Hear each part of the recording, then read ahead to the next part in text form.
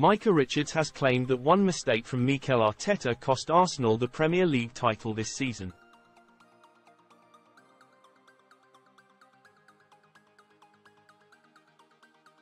Arteta's side finished just two points behind Manchester City, who won the Premier League for the fourth season in succession.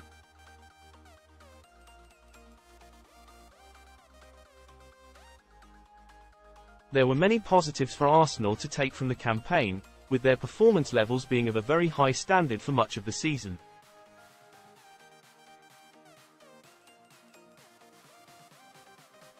Arsenal won 28 of their 38 league games, while they drew 5 and lost 5. However, Richards feels that if Arteta hadn't made one particular error then the Gunners could have been champions instead.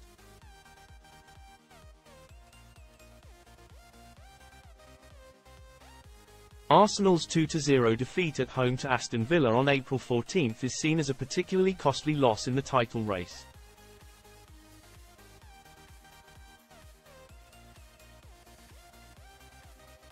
Arteta's side capitulated late on, with Leon Bailey and Ollie Watkins scoring in the closing stages for Villa.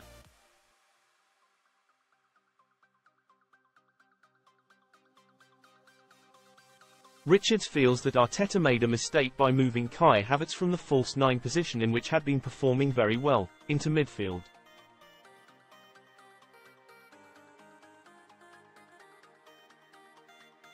He suggested that Arteta should have started another midfielder such as Jorginho or Thomas Partey instead.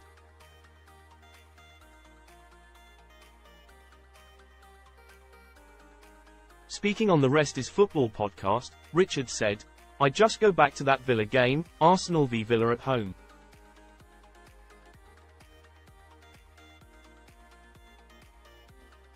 Arteta chose to go with Havertz in the midfield area instead of the false nine which has worked so well for them.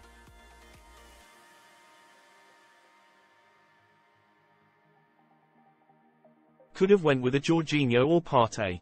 Emery, on the day, tactically got it spot on.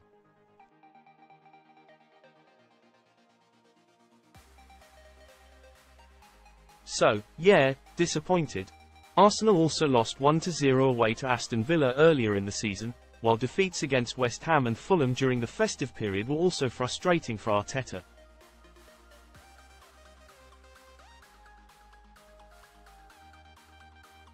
Arsenal lost 1-0 away to Newcastle in November but could feel hard done by with regards to refereeing decisions.